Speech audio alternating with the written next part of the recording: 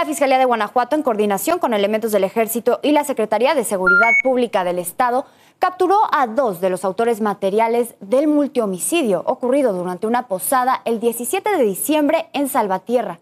Se trata de Óscar Osvaldo N., alias El Borre, y Paloma N., quienes también han participado en múltiples eventos delictivos en la zona La Laja Bajío.